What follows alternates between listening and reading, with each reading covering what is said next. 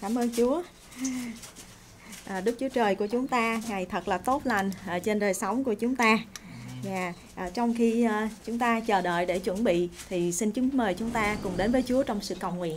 À, kính mời quý vị chúng ta đồng đứng lên để chúng ta cùng tìm kiếm Chúa, à, tìm kiếm mặt của Ngài, à, thờ phượng ca hát ngợi khen Ngài.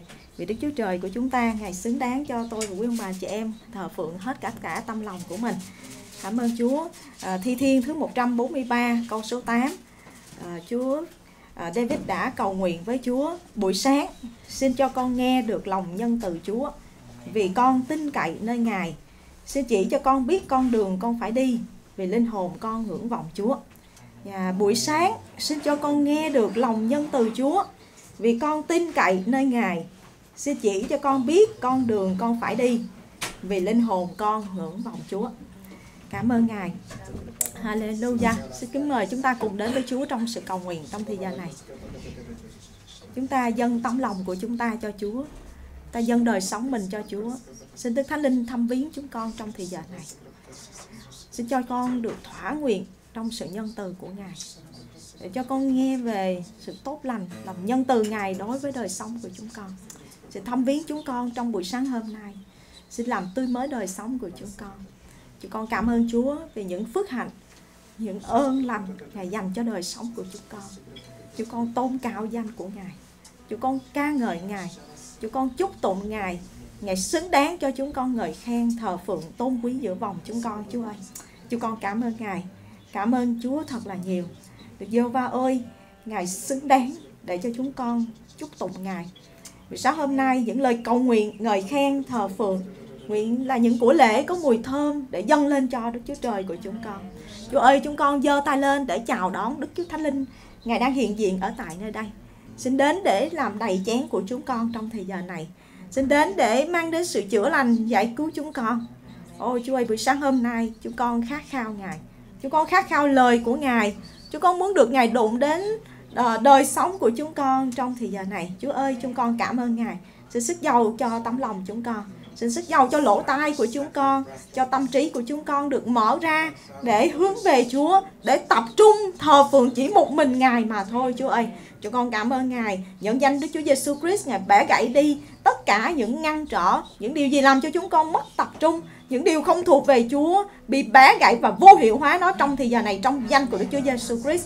Ôi con khai phóng quyền năng của sự sức giàu của Thánh Linh Ngài ngay trong giờ này đụng chạm đến mỗi đời sống của chúng con. Quyền năng của sự sức giàu sẽ bẻ gãy hết tất cả những ách ra khỏi đời sống của chúng con. Và là chúng con được tự do đến gần với Chúa và thờ phượng Chúa ngay trong thời giờ này. Còn ra lên cho linh hồn của chúng con trỗi dậy, thân thể của chúng con trỗi dậy để thờ phượng Chúa, bẻ gãy tất cả những linh của sự mệt mỏi, ngăn trở, uể oải buồn ngủ, những tà linh nào khuấy rối trong đời sống thân thể của chúng ta hay trong hội thánh của Chúa tất cả đều bị bẻ gãy ta cột trói người lui ra khỏi đời sống của chúng ta trong thời giờ này trong danh của Chúa Giêsu Christ. Và Chúa chúng con tôn cao danh của Ngài. Chúa làm cho lời của Ngài tôn cao hơn cả uh, danh của Ngài nữa. Vậy chúng con cầu nguyện để xin lời của Chúa bày tỏ một cách mạnh mẽ ôi trên mỗi tâm lòng của chúng con Ôi, chúng con cảm tạ ơn Chúa nhiều lắm. Xin bao phủ chúng con trong huyết của Chúa Giêsu Christ. Con cầu xin huyết của Ngài dẫn chúng con bước vào trong sự hiện diện chí thánh của Ngài. Ôi, tại nơi đó chúng con được gặp gỡ Ngài Và tại nơi đó Ngài dạy dỗ chúng con lời của Ngài. Ôi, xin cho lửa của chúng con luôn tiếp tục bốc cháy. Ôi tiếp tục nóng cháy cho Chúa, Đời sống nóng cháy cho Ngài, Chúa ơi. Để tiếp tục được sự thăm viếng hâm nóng từ nơi Ngài. Chúng con cảm ơn Chúa nhiều lắm. Chúng con kính dân thì giờ nhóm lại, Ở trong tay quyền năng của Ngài. Chúng con biết ơn Chúa Và chúng con đồng thành kính cầu nguyện. Trong danh Đức Chúa Giêsu Christ, Amen. Xin chúng ta hãy vỗ tay ngợi khen Chúa của chúng ta. Dạ cảm ơn Chúa.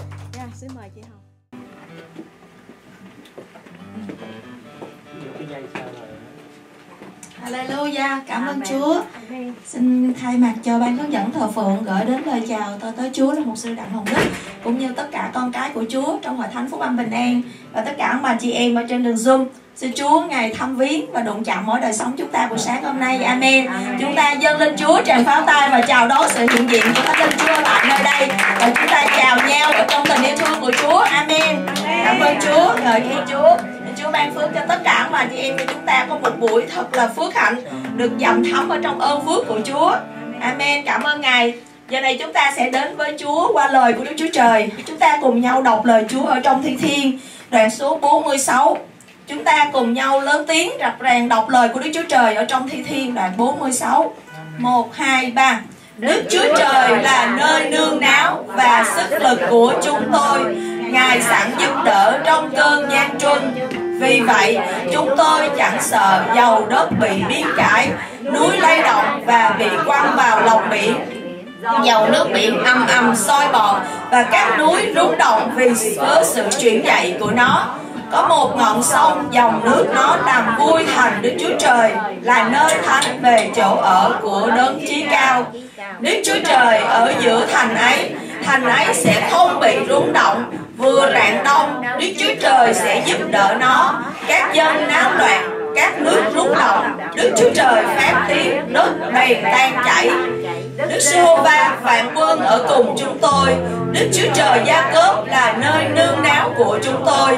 Hãy đến nhìn xem các công việc của Đức Giê-hô-va. Sự phá tan Ngài đã làm trên đất là giường nào. Ngài dẹp yên giặc cho đến đầu cùng trái đất bé gãy các cung, chặt các giáo ra từng miếng Và đốt xe nơi lửa. Hãy yên lặng và biết rằng ta là Đức Chúa Trời. Ta sẽ được tôn cao trong các nước Cũng sẽ được tôn cao trên đất. Đức Sư Va vạn quân ở cùng chúng tôi. Đức Sư Trời Gia Cớp là nơi nương náu của chúng tôi. Amen. Xin chúng ta cùng đọc hai câu kinh thánh này một lần nữa. Hãy yên lặng và biết rằng ta là Đức Chúa Trời. Ta sẽ được tôn cao trong các nước, Cũng sẽ được tôn cao trên đất. Đức Sô Va Vạn Quân ở cùng chúng tôi. Đức Chúa Trời Gia Cớp là nơi đương náu của chúng tôi.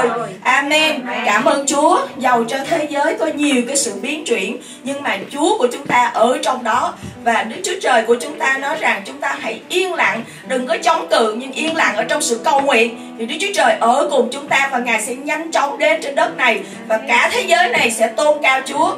Amen. Cảm ơn Đức Chúa Trời. Thì chúng ta tin rằng Đức giê va vạn quân ở cùng chúng ta từ đây cho đến ngày Chúa trở lại. Amen. Cảm ơn Chúa. Ngợi khen Ngài. Giờ này chúng ta sẽ vỗ tay vui mừng.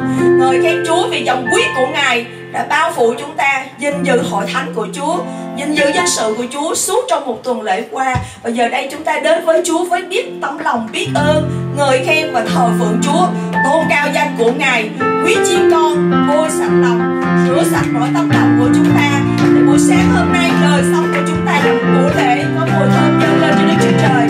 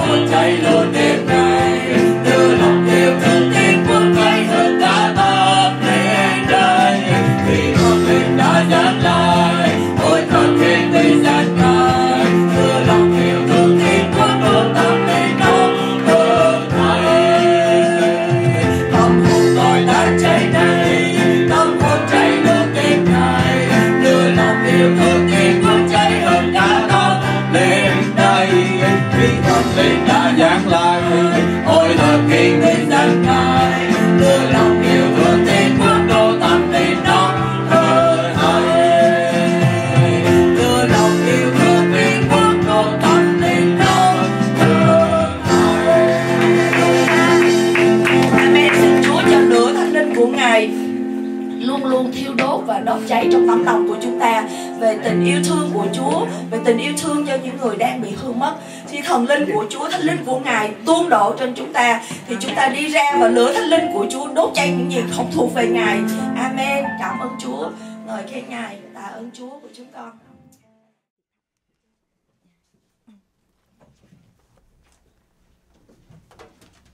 Trân trọng kính chào ờ, quý tôi tớ của Chúa, quý ông bà anh chị em. Ờ, có mặt tại đây cũng như ở trên trường Zoom.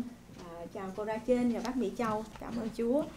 Ờ, rất là vui được gặp tất cả quý ông bà anh chị em à, để được thờ phượng Chúa trong buổi sáng hôm nay. À, Kinh Thánh Chúa nói với chúng ta ở trong sách Esai và đoạn 60 câu số 1 Hãy dấy lên và sáng lè ra Vì sự vinh quang của Đức Giô Va đã chiếu sáng ở trên các ngươi. Và Chúa nói rằng sự vinh quang của Chúa đã chiếu ở trên chúng ta rồi Cho nên chúng ta hãy được dấy lên và sáng lòe ra quý ông bà anh chị em. Chúng ta là muối của đất là sự sáng của thế gian. Cảm ơn Chúa vì trong những ngày qua chúng ta thật là được phước hạnh ờ, ở, ở trong nhà của Chúa được thơ phượng Ngài à, được chứng kiến và nhìn thấy được những quyền năng, những phép lạ, những dấu kỳ mà Đức Chúa Trời à, Ngài đã làm trên đời sống của chúng ta. À, Ngài luôn muốn đem tôi và quý ông bà anh chị em được thăm viếng, được nóng cháy cho Chúa phải không ạ? À, có những lúc tôi và quý vị cũng có những cái sự nguội lạnh ở trong đời sống của mình. Nhưng mà cảm ơn Chúa là Ngài gửi những tôi thớ của Chúa đến và trong những kỳ chúng ta được ở trong đại hội thì bắt đầu chúng ta lại được bùng cháy trở lại amen, amen. chúng ta được hâm nóng trở lại bây giờ cái bài học ngày hôm nay à, tôi được thánh linh của chúa đặt ở trong lòng của chúng ta uh, một cái bài học này để làm sao để mà chúng ta giữ cái đời sống của mình luôn nóng cháy cho Chúa. Amen quý vị. Chúng ta nhận lửa rồi thì chúng ta phải làm sao để giữ lửa ở trong đời sống của chúng ta để tiếp tục bùng cháy cho Đức Chúa Trời của mình. Cảm ơn Chúa. Cho nên chúng ta nói với người bên trái bên phải của mình rằng mình có đang nóng hay không? Đang nóng hay đang nguội? Dạ, yeah. cảm ơn Chúa. À, chúng ta phải nóng cho Chúa, phải nóng cháy cho Chúa. À, hôm nay cái bài học này nguyện Chúa giúp đỡ cho tôi và quý ông bà anh chị em để chúng ta được nóng cháy cho Chúa luôn luôn. Có bao nhiêu người trong chúng ta đã được Chúa thăm viếng trong những ngày qua? Chỉ qua dưới đây thôi sao? Yeah, cảm ơn Chúa. Cảm ơn Chúa. Chúa thăm viếng chúng ta. À, tôi à, thấy là Chúa đụng đến từng người một trong quý vị. Và khi mà ngày Chủ nhật tôi thấy anh Châu ngã xuống ở trong sự hiện diện của Chúa. Thứ bảy là anh cũng đã được Chúa thăm viếng rồi. Những ngày trước đã được rồi. Nhưng mà hôm Chủ nhật cái sự ngã của anh anh ngã phía trước chứ không phải ngã phía sau nữa quý vị ở đây cái sự thăm viếng của Chúa rất là mạnh ở trên đời sống của người anh em của chúng ta à, xác nhận cái sự kêu gọi của Chúa trên đời sống của anh Châu và yeah. và những quyền năng dấu kỳ phép lạ của Chúa được xảy ra ở trong hội thánh của Ngài à, chứng kiến uh, quay camera và chúng ta document về những gì mà Chúa Ngài đã làm trong đời sống của uh, tất cả chúng ta cho nên Chúa của chúng ta thờ phượng là Đức Chúa Trời là đấng vẫn làm phép lạ Đức Chúa Giêsu Christ hôm qua, ngày nay và cho đến đời đời không bao giờ thay đổi. Ngài vẫn thành tính và ngữ thực hiện những công việc lớn lao lạ lùng của Ngài. Đức Chúa Trời của chúng ta thờ phượng, Ngài vẫn luôn làm những công việc lớn lao kỳ diệu trong đời sống của tôi và quý ông bà trẻ em. Điều thứ nhất mà chúng ta cần phải giữ lửa, giữ sự nóng cháy của chúng ta ở trước mặt Chúa, đó là giữ mình trong sự hiện diện của Chúa mỗi ngày. Xin cùng nói với tôi điều này quý ông bà chị em Giữ mình ở trong sự hiện diện của Chúa mỗi ngày Mỗi ngày Quý ông bà chị em ơi không phải chỉ có ngày Chủ nhật hai tiếng đồng hồ ở tại nhà thờ Nhưng thứ hai Thứ ba, thứ tư, thứ năm, thứ sáu, thứ bảy và chủ nhật sau cái giờ 2 tiếng đồng hồ ở tại nhà thờ nữa.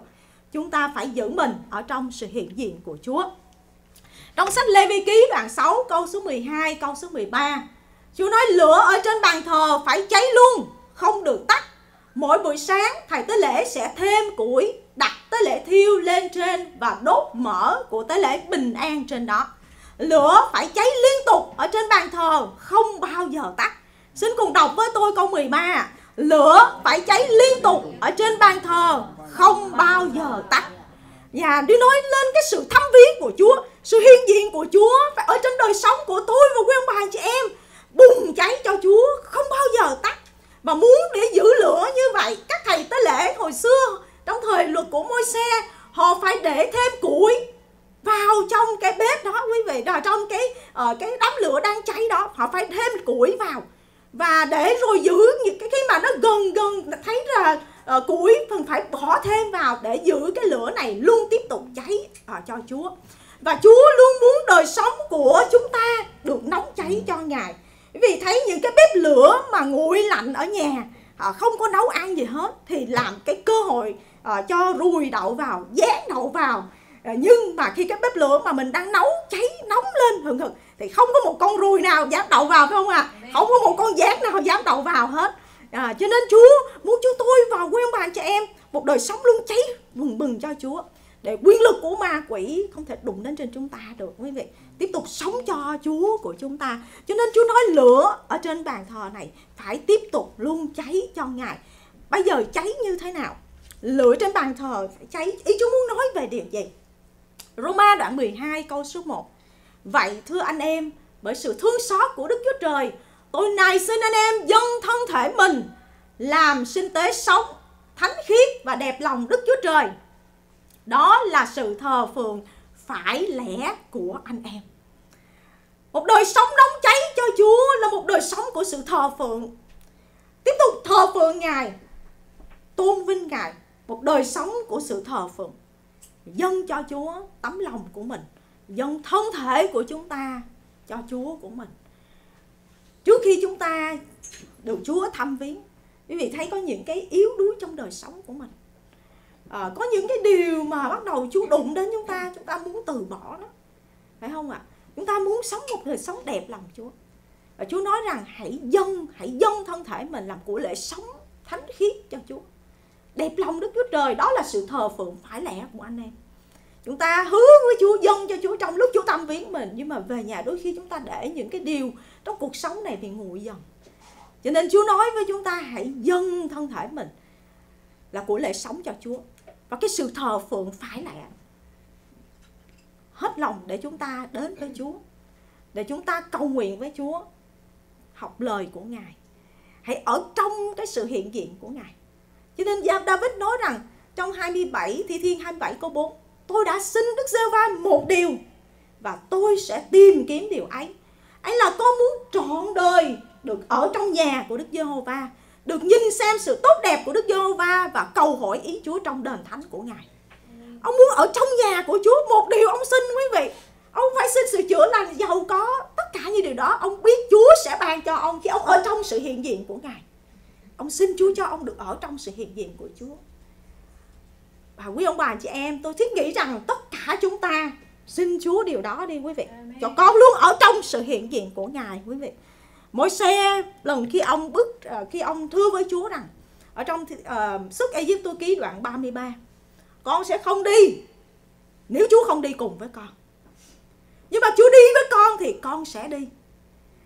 Và trong suốt Ai Cập tôi ký đoạn 33 câu số 14 Chúa nói rằng sự hiện diện của ta sẽ đi cùng với con và ta sẽ cho con được yên nghỉ. Chúng ta thật là phước hạnh khi chúng ta đi đâu hay làm gì, sự hiện diện của ngài đi cùng với chúng ta, quý ông bà chị em. Bởi vì ngài đi cùng với chúng ta ngài yểm trợ cho chúng ta, ngài ban phước cho chúng ta. Và cửa địa ngục phải rúng động khi đời sống của chúng ta bước đi với ngài, quý ông bà chị em. Để chúng ta phục vụ đức chúa trời của chúng ta. Cho nên việc mà chúa sự hiện diện của ngài ở với chúng ta là điều vô cùng cần thiết trong đời sống của mình. Một lối sống thờ phượng phải lẽ mà chúa, ngài muốn cho chúng ta có ở trước mặt ngài. Chúng ta không làm theo đời này, nhưng biến hóa tâm trí của mình ở trong câu số 2 của Roma đoạn 12 để phân biệt được ý muốn tốt đẹp tốt đẹp vua lòng và trọn vẹn của Đức Chúa Trời. Chúa muốn chúng ta không làm theo đời này nữa. Không sống theo những gì của thế gian, không sống theo những gì của đời sống cũ nữa. Đấy là lúc mà chúng ta sống cho Đức Chúa Trời. Chúng ta giữ lửa, hãy nhớ giữ lửa, luôn cháy ở trên bàn thờ của Chúa. Esai đoạn 62 câu số 6 Hỡi Jerusalem trên các tường thành ngươi Ta đã đặt lính canh suốt cả ngày đêm Họ sẽ không bao giờ nín lặng Hỏi những kẻ nhắc nhở Đức Giê-hô-va Đừng nghỉ ngơi chút nào Điều này nói lên một cái đời sống của sự tỉnh thức và sự cầu nguyện ở nơi Chúa Cầu nguyện tìm kiếm mặt của Đức Chúa Trời Quý ông bà chị em đây là điều Chúa nói với dân Jerusalem, thành Jerusalem. Chúa cũng đang nói với mỗi chúng ta. Chúa đang nói với hội thánh của ông bình an. Đừng để cho Ngài nghỉ ngơi chút nào. Hãy kêu cầu Ngài, hãy tìm kiếm mặt Ngài luôn luôn quý ông bà chị em. Chúa nói rằng trong Matthew đoạn 26 câu số 41 Hãy tỉnh thức và cầu nguyện Để các con khỏi xa vào trước của cám dỗ. Tâm thần, tâm linh thì tha thiết Mà xác thịt thì lại yếu đuối. Khi sự phấn hưng xảy ra khi sự thăm viếng của Chúa tuôn đổ ở trên hội thánh của Chúa thì sẽ có những cái sự cám dỗ xảy ra nữa quý vị sẽ có những cái quyền lực của ma quỷ song song với điều đó tấn công vào hội thánh của Chúa cho nên Chúa nói hãy tỉnh thức và cầu nguyện quý bà chị em chúng ta không phinh lờn điều này bởi vì các sứ đồ của Chúa, họ ở với Chúa Giêsu đúng không ạ à? họ ở với Chúa Giêsu trong vườn Gethsemane, nhưng Phêrô vẫn có thể chối Chúa được bởi vì Chúa nói rằng con hãy tỉnh thức và cầu nguyện. Thiếu sự tỉnh thức và cầu nguyện sẽ xa vào trước cám dỗ, quý ông bà chị em. Cho nên cái sự bùng phục hưng bùng cháy, sự thăm viếng của Chúa, thăm viếng hội thánh của Ngài, hãy tỉnh thức và cầu nguyện để không xa vào trước của sự cám dỗ ma quỷ. Bởi vì song song với điều Chúa thăm viếng chúng ta và muốn chúng ta được phước thì cũng có những kẻ thù quyền lực của sự tối tâm để tìm cách để ngăn chặn cái phước hạnh của Chúa nữa quý vị. Cho nên chúng ta phải tỉnh thức và cầu nguyện với Chúa. Nguyện Chúa giúp đỡ và khuấy động trong đời sống của tôi và quý ông bà chị em để những buổi cầu nguyện của hội thánh chúng ta không thể thiếu được. Để những cái buổi mà chúng ta cầu nguyện để xin sự đổ thánh linh của Ngài, xin sự sức dầu của Ngài, xin sự đùng chạm của Ngài để tiếp tục sử dụng cuộc đời của chúng con. Và tiếp tục bảo vệ đền thờ long của chúng con khỏi những bẫy của sự cám dỗ. Quý vị ơi trong lịch sử của hội thánh của chúa có rất nhiều người bị sa ngã trong sự thăm viếng của chúa nữa. Sau khi cái sự thăm viếng của chúa nữa bởi vì thiếu thiếu sự giữ lửa trong đời sống mình, thiếu sự tỉnh thức và cầu nguyện. Cho nên chúng ta xin Chúa giúp đỡ để trong những ngày mà hội thánh cầu nguyện, chúng ta tin rằng tất cả tôi sẽ nhìn thấy quý vị. Tôi muốn tham gia trong buổi cầu nguyện. Tôi muốn được cầu nguyện. Tôi muốn được chìm ngập ở trong sự hiện diện của Chúa. Tôi muốn được học lời của Ngài. Amen, quý vị. Cảm ơn Chúa. Sự cầu nguyện rồi. Bây giờ nói lên sự ngợi khen. Thi Thiên 149 câu số 6 Sự ngợi khen của Đức Chúa Trời ở trong miệng họ Và thanh gươm hai lưỡi bén ở trong tay của họ. Sự ngợi khen phải ở trong môi miệng của chúng ta. Sự ngợi khen Đức Chúa Trời toàn năng.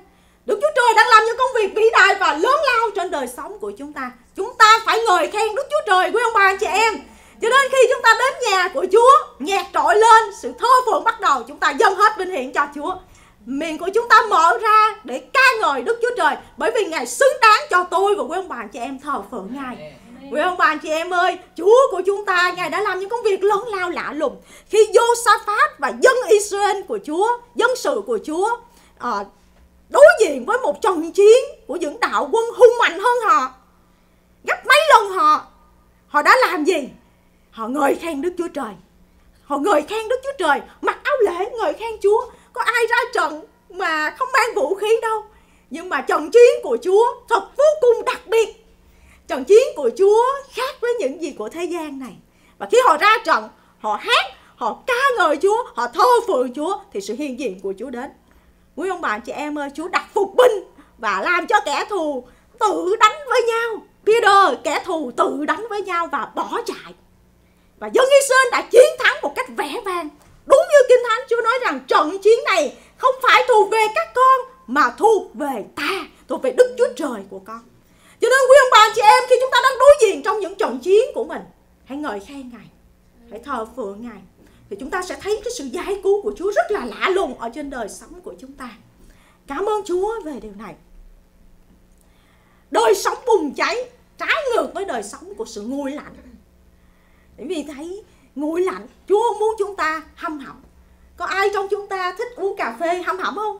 Hay là thích uống nước trà mà nó nguội nguội không? Không chúng ta thích phải trà nóng phải không ạ? À? cà phê phải nóng phải không ạ? À?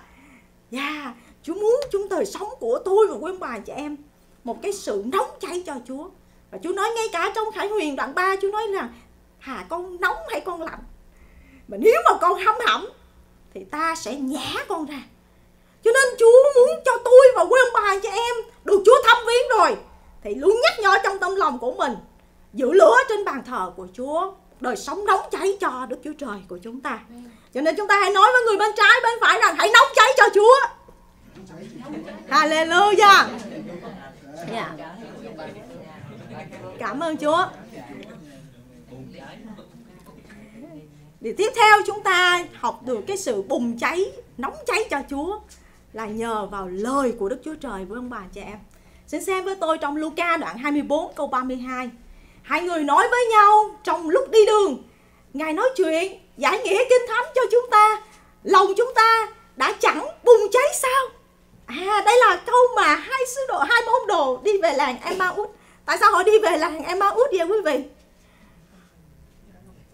Họ nản lòng quá rồi, họ đau lòng quá và họ thấy Chúa Giêsu đã chết rồi họ phải đi, họ họ họ buồn lắm, họ đi về lòng họ tan nát quý vị nhưng mà cảm ơn Chúa là đang trong đường đi đó.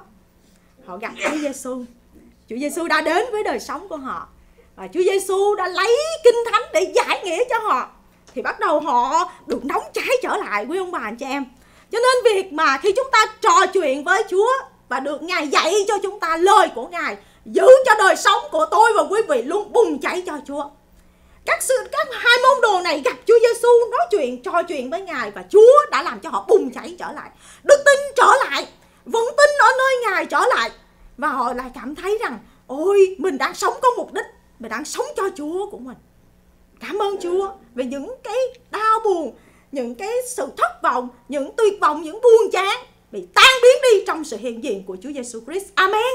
Và cho nên chúng ta phải ở trong sự hiện diện của Ngài và lời của Ngài thôi thúc trong đời sống của chúng ta. Tôi thưa với quý ông bà anh chị em trong những giây phút mà tôi cần với Chúa. Chúa khích lệ cho tôi rất là nhiều điều và làm cho tôi tươi mới ở trong sự hiện diện của Chúa. Nếu không bởi sức của Ngài, không bởi ơn của Ngài thì tôi không thể đứng nổi ở trong sự giảng dạy lời của Chúa hay trong chức vụ nữa.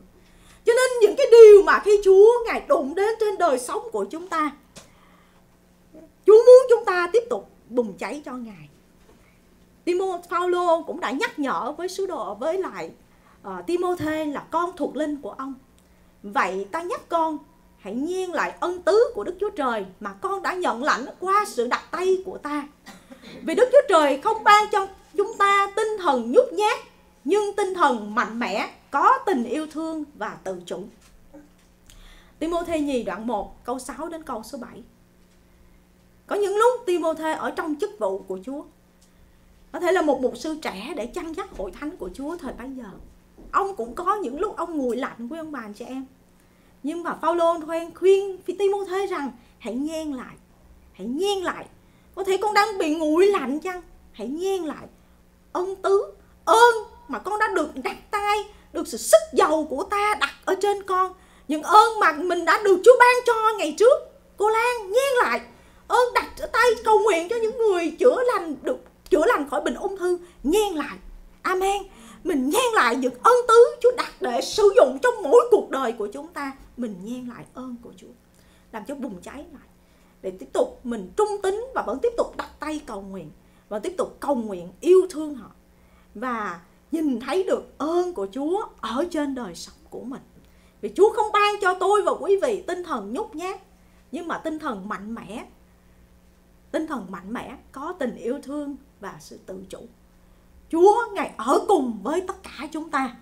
Để rồi Ngài, sự hiện diện của Ngài đi trước chúng ta. Để những cái sự sợ hãi, nhút nhát không còn nữa, quý ông bà, chị em. Để rồi chúng ta bắt đầu sống cho Ngài. Lời của Chúa cũng nhắc ở trong gian đoạn 5 câu số 14 trong gian đoạn 5 kể lại một câu chuyện của một người bị bại. 38 năm 38 năm và người bại này đã nhận được sự chữa lành của Chúa Giêsu Christ. Và trong câu số 14 thì Chúa nói rằng này, ngươi đã được lành bệnh rồi, đừng phạm tội nữa. E có điều chi càng tệ hơn xảy đến cho ngươi chăng? Chúng ta thấy rằng giữ lửa của Chúa giữ được cái sự chữa lành của Chúa ở trong đời sống của tất cả chúng ta nữa quý ông bà chị em. Mà quý đến để cướp giết và quý diệt nhưng Chúa Giêsu đến để đem cho chúng ta được đời sống sung mãn ở trong Ngài. Và những người nhận được sự chữa lành của Chúa nhưng mà lại bị mất cái sự chữa lành của Chúa. Cho nên Chúa Ngài thức tỉnh nói với lại cái người bại này rằng con đã được lành rồi, hãy đi và đừng phạm tội nữa, e có sự gì còn tệ cho con chăng? Cho nên quý ông bà chị em ơi, Chúa đã chữa lành cho chúng ta. Và Chúa muốn tôi và quý vị giữ cái sự chữa lành đó ở trong đời sống của mình. Để đời thứ nhất có những điều mà Chúa đặt để trong trong lòng của tôi. Bốn điều này, quý ông bà, chị em, đó là một cái đời sống tội lỗi. Đời sống tội lỗi sẽ ngăn trở sự chữa lành của Chúa. Và chúng ta phải có một cái đời sống được thay đổi trong cái đời sống cũ của mình. Những gì còn chất chứa trong đời sống của mình mà nếu mà mình vẫn còn giữ thì nó sẽ ngăn trở cái sự phước hạnh sự chữa lành của Chúa trên đời sống của mình. 27 năm về trước Chúa Giêsu đã chữa lành cho tôi uh, chứng bệnh đau đầu kinh niên. Quý bà chị em trong lúc đó sự hiện diện của Chúa sự thăm viếng của Chúa rất là mạnh mẽ và tôi được lành thật sự. Như một luồng điện đến trên đầu của tôi và tôi nhận được sự chữa lành của Chúa rất là tươi mới khỏe mạnh. Nhưng mà khi tôi về nhà thì bắt đầu nó bị đau đầu trở lại. Và ngày hôm sau tôi bị lại. Và tôi không biết làm sao cách nào để mà chống trả được với cái điều đó. Tôi gặp mục sư của tôi. Và bắt đầu cô chia sẻ cô nói rằng con đã được chữa lành. Phải tiếp tục tin cậy Chúa là đấng chữa lành và công bố lời của Chúa đã chữa lành cho mình. Và những cái gì tội lỗi trong đời sống của mình đời sống cũ phải dẹp bỏ đi. Quý ông bà chị em ơi tất cả những cái tử vi tướng số của tôi coi ngày xưa phải dục bỏ đi. Tất cả những cái gì còn thần tượng ở trong nhà phải bị bỏ đi phải bị dẹp bỏ đi. Để không sa tăng không có thể kiện cáo trong đời sống của chúng ta được. Để chúng ta tiếp tục giữ cái sự chữa lành của Chúa trên đời sống của mình. Và công bố tôi đã được lành. Chúa Giêsu đã chữa lành cho tôi rồi. Và công bố lời của Đức Chúa Trời. Và nhân danh Chúa đuổi cái quyền lực của sự tối tăm đó những cái sự tấn công của bệnh tật đến trên đời sống của mình. Chúng ta cột trói nó với ông bà anh chị em. Và khi mà tôi làm những cái điều đó Chúa mang đến sự chữa lành trọn vẹn cho tôi cho tới ngày hôm nay luôn quý vị 27 năm rồi không bị lại những cái chứng bệnh đó như vậy. Cho nên chúng ta thấy rằng giữ cái sự chữa lành cho đời sống của mình giữ lửa trên bàn thờ của Chúa giữ một đời sống tươi mới và một cái đời sống nóng cháy cho Ngài. Nếu chúng ta không giữ thì nó sẽ nguội trở lại. Và chúng ta thậm chí mất, tiếc đi những gì Chúa đã ban cho chúng ta. Đức Thánh Linh bắt tem Thánh Linh cho tôi, Chúa Giêsu bắt tem Đức Thánh Linh cho tôi của anh bà chị em trong sự cầu nguyện tiếng mới. Bây giờ để giữ lửa cho Chúa, Chúng ta phải cầu nguyện liên tục trong tiếng mới với ông bà chị em. Cầu nguyện trong tiếng mới Để gây dựng cho chính mình. Khi chúng ta gây dựng cho chính mình, Chúng ta mới gây dựng cho hội thánh của Chúa được. Vì nếu chúng ta không gây dựng cho chính mình Chúng ta không thể gây dựng cho ai hết.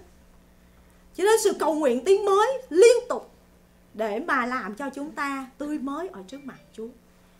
Và có những cái điều những quyết định rất là quan trọng ở trong đời sống của tôi. Và tôi ở trong cái sự cầu nguyện trong tiếng mới. Thì bắt đầu thánh linh của chúa đem đến cái sự mặc khải cho mình liền đem đến sự bày tỏ uh, cho đời sống của tôi. Cho nên quý vị chúng ta phải giữ những cái điều này trong đời sống của mình. Những cái điều mà chúa ngài đang tiếp tục đổ lửa và thăm viếng. Quý vị sẽ phát hiện ra à, có những cái những cái điều ô uế bất khiết ở trong đời sống của mình cần phải được chúa thanh tẩy. Như kỳ hôm thứ năm thứ ba tôi đã chia sẻ với quý ông bà chị em nhà cửa mà dọn dẹp sạch sẽ hút bụi hoặc thậm chí chúng ta ở Việt Nam mình uh, xịt nước để cho sạch đúng không? Mình sẽ phát hiện ra cái gì? Những ổ chuột ở tại đó, ổ gián ở tại nơi đó. Rồi những cái gì dơ rác ở đó, từ đó giờ ứ động, bụi, ám ở trong đó lâu ngày. Chúng ta phải dọn sạch nó. Cho nên mục đích Chúa đến để thăm viếng chúng ta. Và sự thăm viếng, sự sức giàu của Chúa kèm theo lửa của Ngài là như vậy. Lửa đem đến sự thanh tẩy, đem đến sự tẩy rửa trong đời sống của mình. Để những gì không thuộc về Chúa được Chúa lấy ra khỏi trong cuộc đời của mình. Và tiếp tục đốt cháy trong đời sống của chúng ta, làm chúng ta nóng cháy cho Ngài. Amen. Điều thứ hai, giữ lửa của Chúa với ông bà chị em.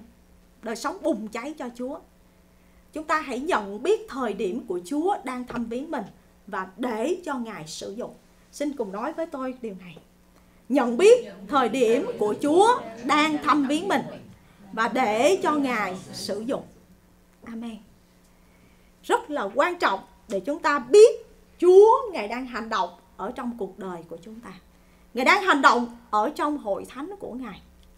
Sự ký thứ nhất đoạn 12 câu 32 trong con cháu Isaka có 200 nhà lãnh đạo am hiểu thời cơ và biết điều gì dân Israel phải làm. Tất cả anh em họ hàng đặt dưới sự lãnh đạo của họ. Con cháu Isaka 200 nhà lãnh đạo am hiểu thời cơ và biết điều Israel phải làm. Vì Chúa mở mắt cho tôi và quý ông bà chị em nhận biết được đây là thời điểm mà Chúa, Ngài đang thăm viếng hội thánh phong bình an. Ngài đang thăm viếng mỗi đời sống của chúng ta, quý ông bà anh chị em ơi để chúng ta tháp tùng vào trong công việc của Chúa, kết nối với Ngài và để cho Ngài sử dụng cuộc đời của chúng ta vì nếu không, cơ hội sẽ qua đi giống như Chúa Giêsu bước vào trong thành Jerusalem Ngài khóc cho thành Jerusalem bởi vì thành này không biết cái thời điểm mà Chúa đang thăm viếng mình Chúa khóc cho thành Jerusalem quý vị Đấng Messiah đã xuất hiện rồi nhưng họ khước từ sự cứu chuộc của Ngài. Họ khước từ Ngài. Cho nên Ngài khóc cho thành Jerusalem. Đừng để Chúa khóc cho đời sống chúng ta vì chứ cái ngày chúng ta không biết thời điểm mà Chúa đang thăm viếng mình quý vị. Hãy kết hợp với Chúa, kết nối với Ngài. Sự hiện diện của Chúa được bày tỏ uh, ra trong đời sống của mình. Khi Gia Cốp lìa bỏ rời khỏi quê hương của mình và ông đi đến cái vùng của cha mẹ uh, vùng ở bên mẹ của ông và trong cái thời gian ông rời khỏi xứ của mình và ông đi Chúa đã hiện ra với đời sống của Gia Cốp và trong 28 uh, của sách sáng thế ký đoạn 15 Chúa nói với Gia Cốp rằng này ta ở cùng con. Con đi đâu sẽ theo gìn giữ đó và đem con trở về xứ này. Vì ta không bao giờ lìa con cho đến khi ta làm xong mọi điều ta đã hứa cùng con. Và Chúa bày tỏ cái lời hứa của Chúa cũng như sự hiện diện của Chúa cho Gia Cốp. Và câu số 16 của đoạn 28 của sách sáng thế ký Gia Cốp nói rằng Gia Cốp thức giấc và nói rằng Thật Đức Giê-hô-va có ở đây mà tôi không biết. Cho nên xin Chúa cho cho tất cả chúng ta là những người biết được cái sự hiện diện của Chúa và nhảy bén ở trong thánh linh của Ngài và biết rằng Chúa, Ngài đang thăm viếng đời sống của chúng ta để chúng ta có thể kết hợp với Ngài để làm những công việc lớn lao và vĩ đại cho Chúa của mình. Một nhân vật ở trong Kinh Thánh mà tôi rất là yêu thích đó là chấp sự Philip. Ông biết Chúa đang thăm viếng hội thánh của Chúa. Sự bắt bớ xảy ra ở tại thành Jerusalem và khiến cho các môn đồ, các sứ đồ, các con cái của Chúa uh, phải có một cái sự tản lạc đi. Philip cũng đi xuống dưới thành Samari để rao giảng đấng Christ cho dân chúng ở tại nơi đó. Và khi mà Philip đi xuống dưới đó, quý vị đoàn dân nghe ông giảng và thấy các dấu lạ thì họ đồng lòng chăm chú để nghe ông. Và thậm chí có những uế linh kêu lớn lên. Nhiều nhiều người được uh, uế linh ra khỏi, nhiều người bị quỷ ám. Và nhiều người bại, người què cũng được chữa lành nữa. Vì thế trong thành tràn ngập niềm vui.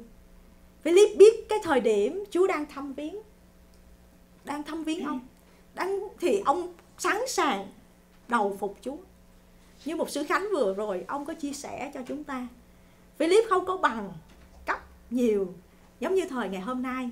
Nhưng mà ông có một cái bằng mà tôi và với nghị đều có hết đó là phải bằng lòng cho Chúa sử dụng. À, để cho ngài sử dụng và kết nối với ngài để cho ngài dùng cuộc đời của Philip để làm cho cả thành Samari có sự phấn hưng phục hưng của ngài.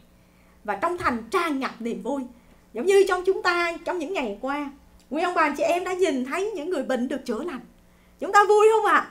chúng ta rất là vui chúng ta nhìn thấy những người được Chúa thăm viếng chúng ta cũng rất là vui ở nơi Chúa đã làm những công việc lớn lao trên đời sống của chúng ta và trong cũng trong đoạn 8 của sách công vụ thì bây giờ thiên sứ của Chúa phán với lại Philip rằng hãy đứng dậy về phía nam mà theo con đường từ Jerusalem xuống Gaza, đường ấy vắng vẻ. Chúa kêu dân, Chúa kêu Philip đi đi, hãy chạy xuống phía nam. À, để mà gặp một cái người này. Và khi Philip vâng lời thiên sứ, ông đã chạy đến.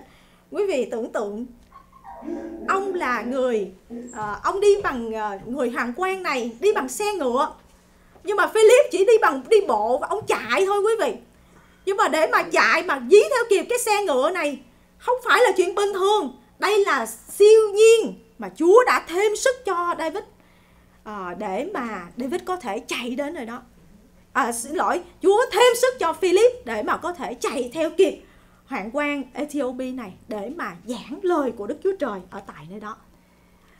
Và Philip mở miệng ra trong câu số 35 bắt đầu từ chỗ kinh thánh đó mà rao giảng tin lành về Đức Chúa Giêsu Christ. Ngay trong thời điểm đó quý vị Philip không chần chờ nhưng mà Philip làm theo lời của Chúa giảng tin lành ở tại nơi đó cho người hoàng quan Ethiopia này. Và sau đó làm bắt tem nước cho người hoàng quan này luôn. Và khi làm xong rồi, thì Chúa lại cất Philip đi đến một cái vùng khác để giảng tin lành. Cho nên, và nhờ cái sự giảng tin lành của Philip cho người Ethiopia này, và ông đã về, thì cái quốc gia ở tại ông, của ở tại Ethiopia đó, được nghe về tin lành của Chúa quý vị và Phi Châu được nhận biết về tình yêu của Chúa à, qua cái cuộc đời của người chấp sự Philip này đã làm chứng cho người hoàng quan Ethiopia cho nên quý vị quý ông bà chị em ơi chúng ta nhận biết thời điểm mà Chúa ngài đang thăm viếng hội thánh của Chúa. Amen. Chúa đang thăm viếng hội thánh của Ngài chúng ta nhìn thấy được những công việc của Chúa trong những ngày qua hãy biết rằng Đức Chúa Trời đang có chương trình tốt lành cho hội thánh phong bình an. Và chúng ta hãy kết hợp với Ngài và để cho Ngài uh, sử dụng cuộc đời của chúng ta. Cảm ơn Chúa quý vị. Hội thánh của chúng ta không phải được mọc lên một cách tình cờ hay ngẫu nhiên. Để tôi tin rằng đây là công tác của Đức Thánh Linh Ngài. Phải không quý vị? 11 năm năm năm 2022 2001 chứ. Khi tôi đến thờ phượng Chúa ở tại hội thánh Mỹ à, tôi muốn đến hội thánh để mà thờ phượng Chúa à, trong cái sự thờ phượng ở trong thánh linh của Chúa trong năm 2021 thì tôi đến nơi đó học lời Chúa nhưng bởi vì tiếng Anh của tôi rất là ít ỏi. Nhưng mà tại nơi đó thì tôi đã được gặp một sĩ ép Michael. Ông hướng dẫn chia sẻ lời Chúa trong cái lúc đó và năm 2016 có thể nói là hơn 11 năm sau, Chúa dẫn tôi đến ngay tại hội thánh này và được gặp ông ở tại đây. Và tất cả chúng tôi đều ngạc nhiên về cái sự sắp đặt của Chúa hết. Quý bà chị em tôi vẫn còn giữ cái lịch chương trình nhóm lại của hội thánh ngày trước và đưa cho ông coi. Ông ngạc nhiên vô cùng. Chúa dẫn chúng tôi đến lại và ngay cái ngày đầu tiên khi chúng tôi mở hội thánh ở tại à, nhóm lại tại hội thánh Mỹ thì trước đó anh Thanh lại có một cái giấc mơ rất là lạ lùng về Chúa đã bày tỏ cho hội thánh rồi. Anh Thanh còn nhớ không? Chúa bày tỏ cho anh Thanh cái giấc mơ. Hội thánh phúc âm bình an giống như một con thuyền với ông bà chị em? Cứu hộ vớt nhiều rất là nhiều người. Và nếu không có cái con thuyền này họ sẽ bị chết chìm ở trong đó. Và tôi cầu xin Chúa ngài khuấy động để À, anh Thanh nhớ lại cái khải tượng mà tôi nghĩ rằng chắc anh sẽ không bao giờ quên cái khải tượng này mà Chúa đã phán trước rồi sau đó, quý bà chị em, nhiều khải tượng và lời tiên tri cho hội thánh của Chúa nữa và gần đây nhất là đời sống của Nhật đã có một cái khải tượng à, về Chúa đã bày tỏ sự hiện diện của Ngài. Có nghĩa là Chúa đang ngồi ở trên ngôi cao. Sự vinh hiển của Chúa được bày tỏ. Và Chúa đã nói rằng hội thánh nếu hội thánh của con đi ở trong cái đường lối của ta, vâng lời ta thì ta sẽ ban phước cho hội thánh. Và Chúa Ngài à, bày tỏ những cái những cái khải tượng đó cho hội thánh của ngài với mà cho em và có những lời tiên tri nói rằng hội thánh phúc âm bình an sẽ trở nên lớn mạnh và nhiều người sẽ đến như nước vỡ bờ nhìn thấy được Ờ, và những người sẽ nhận được cái sự phước hạnh và sự thăm viếng của Chúa quý ông bà chị em. Cho nên điều tôi kể cho quý ông bà chị em không phải là một cái sự hội thánh của Chúa không phải mở lên một cách ngẫu nhiên nhưng mà đó là một cái sự sắp đặt của Đức Thánh Linh của Ngài và trong thời điểm. À, tôi cầu nguyện để nhìn thấy hội thánh của chúng ta đang giống như những cơn sóng đã trượt trỗi vậy được dậy lên giống như những cơn sóng vậy đó. Và quý ông bà anh chị em được dấy lên và sáng lòe ra và sự vinh quang của Đức Chúa Trời chiếu trên hội thánh của Ngài. Cảm ơn Chúa quý vị. Trong những ngày mà chúng ta tổ chức đại hội vừa qua quý vị ơi thật sự đây chính là sức của thánh linh của ngài. Sự ban ơn của chúa sự sức giàu của chúa ở với chúng ta đó. Mặc dù chúng ta thấy có những cái thiếu sót xảy ra nhưng mà nhìn lại chúng ta vẫn hallelujah cảm tạ ơn Chúa. Phải không ạ? À? cảm ơn Chúa vì những gì Chúa làm cho đời sống của mình cô Lan được phải kinh nghiệm được sự chữa lành của Chúa để rồi cô có mới có sức khỏe để làm việc với 10 con gà nấu phở, phải không cô Lan? Vì nếu không không có sức khỏe Chúa ban cho mình, không thể phục vụ Chúa được quý vị. Cho nên nhiều khi mình nói mình cười như vậy, nhưng mà Chúa thực sự có chương trình và ngày chữa lành cho chúng ta đó. Siêu nhiên, để chúng ta có sức để phục vụ Đức Chúa Trời của mình. Quý bà chị em, ngày thứ tư, khi mà chính cá nhân của tôi cũng vậy, về là tôi bị bệnh bệnh và ói, mửa, sốt, lạnh trong người. Và tôi bị kiệt sức luôn. Nhưng mà tôi nói với sa tăng ma quỷ trong danh Chúa Giêsu ngươi là kẻ đã bị thất bại. Quý bà chị em thấy khi sự phục hưng của Chúa đến, sự thăm viếng của Chúa đến kẻ thù nó không muốn chúng ta được phước đâu.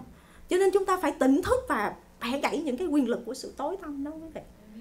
Trước khi một sự cánh đến hội thánh chúng ta ở trong sự kiên an 21 ngày, sự cầu nguyện 21 ngày rồi bởi vì thấy và cái quyền lực của sự tối tâm mà tấn công nó phải bị thất bại.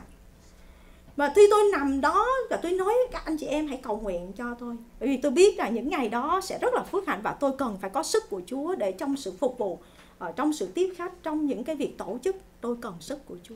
Và quả thật quý ông bà chị em, Chúa thêm sức cho tôi một cách rất là siêu nhiên. Ngài chữa lành cho tôi một cách rất là siêu nhiên để làm những công việc của Ngài. Chúa phục hồi sức khỏe một cách lạ lùng để có thể vừa tiếp khách nấu ăn và dọn dẹp rồi có thể uh, cùng với tôi tớ của Chúa để mà phục vụ Chúa trong những ngày qua. Nhìn lại chúng ta thấy đó là ơn của Ngài phải không? Sức của Chúa ban cho đời sống của chúng ta. Cảm ơn Chúa thật là nhiều.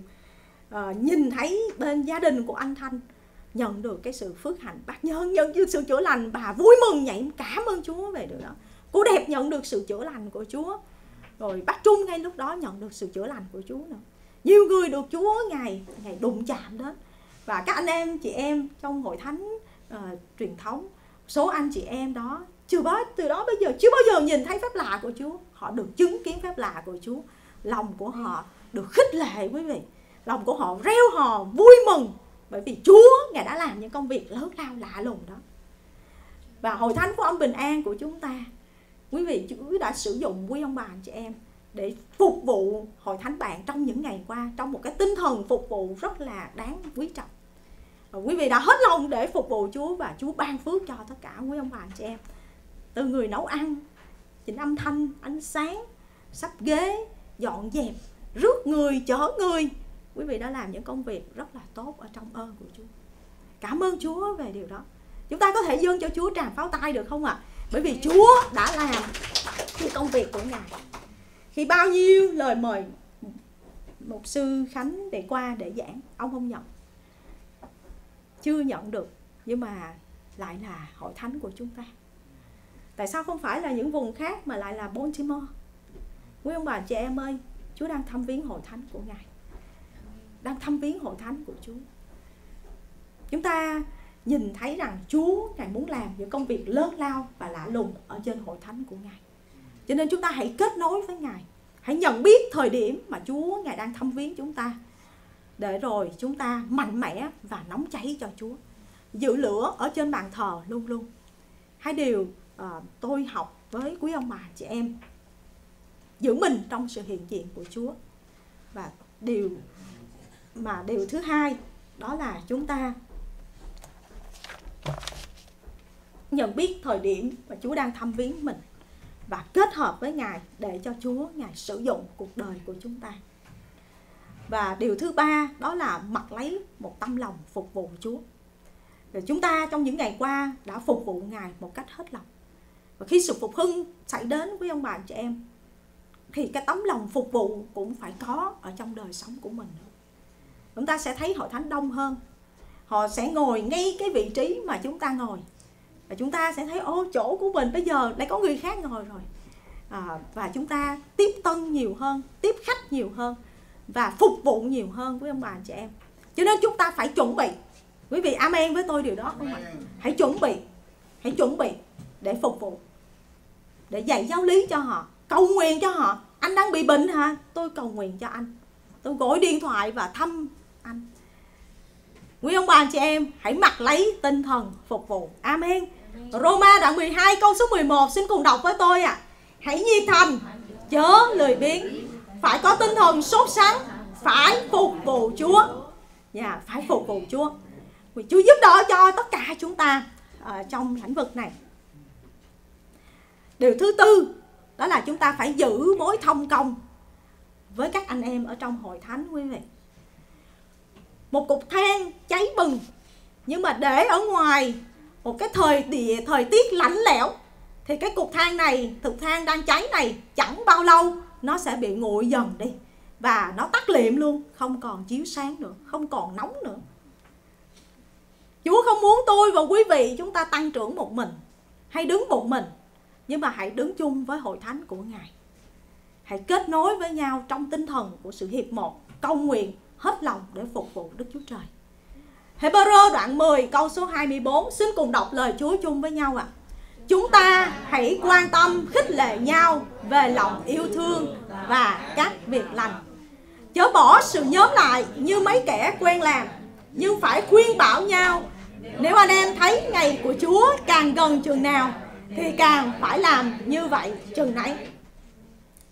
thì Chúa giúp đỡ cho tất cả chúng ta được kết hợp với nhau và không bỏ sự nhóm lại như những kẻ quen làm, quý vị. Ngày ấy gần đến rồi, đó là ngày gì? Dạ ngày của Chúa Giêsu Christ ngày trở lại rồi. Gần lắm, quý ông bà, anh chị em ơi. Gần lắm, rất gần. Cho nên chúng ta càng phải nhóm nhau lại, càng phải hiệp một, phải cầu nguyện để mà xây dựng nhà của Đức Chúa Trời. Amen. Cảm ơn Chúa. Xin kính mời chúng ta đồng đứng lên để chúng ta cùng đến với Chúa ở trong sự cầu nguyện bốn điều này à, tôi chia sẻ với quý ông bà chị em. Để giữ cho một đời sống nóng cháy cho Chúa.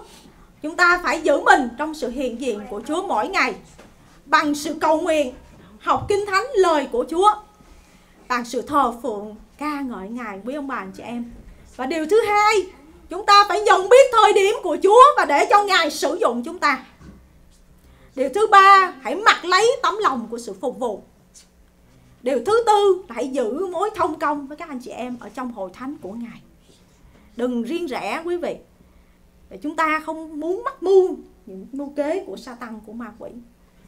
Và Chúa nói với chúng ta rằng một người thì đuổi một ngàn người và hai người đuổi mười ngàn người, quý vị. Tính hồn của sự hiệp một khiến cho sa tăng ma quỷ run sợ. Tính hồn của sự cầu nguyện của hội thánh của Chúa khiến cho ma quỷ rung động, cửa địa ngục phải rung động cho nên chúng ta phải hiệp mà một với nhau và cầu nguyện để xây dựng nhà của Đức Chúa Trời. Hãy nhận biết thời điểm Chúa đang thăm viếng hội thánh của âm bình an, quý vị ơi. Chúng ta kết hợp với Chúa, kết hợp với nhau để xây dựng nhà của cha của chúng ta càng ngày tốt đẹp hơn nữa. Amen. Cảm ơn Chúa. Xin chúng ta cùng đến với Chúa trong sự cầu nguyện. Chúng ta cầu nguyện để xin Chúa tiếp tục thăm nóng chúng con, tiếp tục sức giàu mới cho chúng con, sử dụng cuộc đời của chúng con để sống cho Ngài trong những ngày sau rốt này. Chúa Giêsu của chúng con Ngài trở lại rất là gần. Xin Chúa thăm viếng đời sống của chúng con. Để cho chúng con bằng lòng, Để cho Ngài sử dụng. Sẽ cho chúng mở mắt cho chúng con nhìn thấy Và hiểu rõ ý muốn của Ngài trong đời sống